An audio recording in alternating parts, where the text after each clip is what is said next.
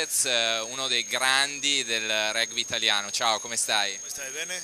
Tutto a posto. Tutto a posto. Senti, parliamo un po' di questo Sei Nazioni. Non, è, non sta andando nel migliore dei modi per l'Italia. No, è stato sei nazioni difficile.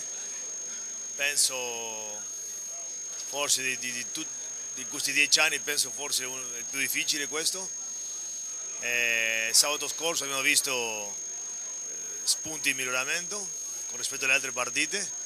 Che si poteva vincere anche sabato scorso con un po' più di prendere un po' più di rischi eh, si poteva vincere quella partita. Adesso ultima partita la Francia, la Francia che ha preso una bellissima, una grande batosta come diciamo sabato scorso in Inghilterra. Eh, le due squadre non hanno niente da, niente da, da, perdere, ma tu sai che il mondo del rugby si gioca sempre per vincere alla morte. Allora sarà una bella partita, l'Italia ha depositato di vincere sabato, deve credere, deve prendere rischi e deve attaccare. Senti, tante polemiche attorno a Nick Mallet, tu che idea ti sei fatto? Tutti gli esperimenti che ha fatto sono stati giusti, serviranno per il futuro? Senti, eh, sempre facile criticare da fuori, io quello che dico è che uno sempre fa cose buone, cose, cioè, sono esperimenti che, che, Nick sta facendo eh, per trovare l'equilibrio giusto per il futuro. Io l'ho avuto come allenatore due anni con ottimi risultati, ottimi, ottime esperienze con lui. È un momento difficile della squadra, ma non, non, sarei, non, sarei, critico così. Le scelte, le, le prove devi farle alcune volte azzecchi, altre volte no, ma oh, ti, serve per, ti serve per il futuro.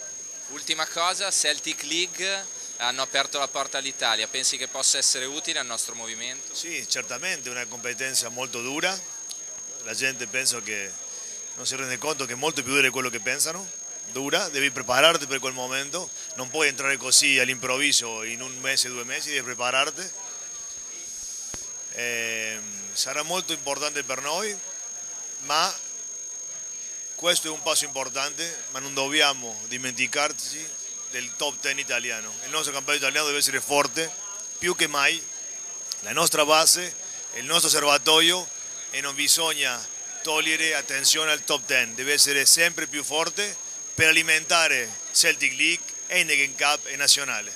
Se il top 10 non è forte avremo dei, dei problemi seri e speriamo che magari nasca qualche altro Dominguez.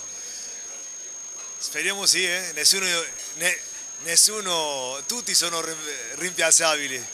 Io ho due maschi, uno sto preparando, no ma uscirà, uscirà, uscirà sicuramente.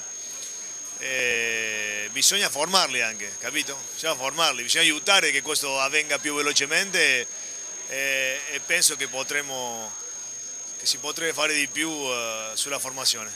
Grazie. A te, ciao ciao.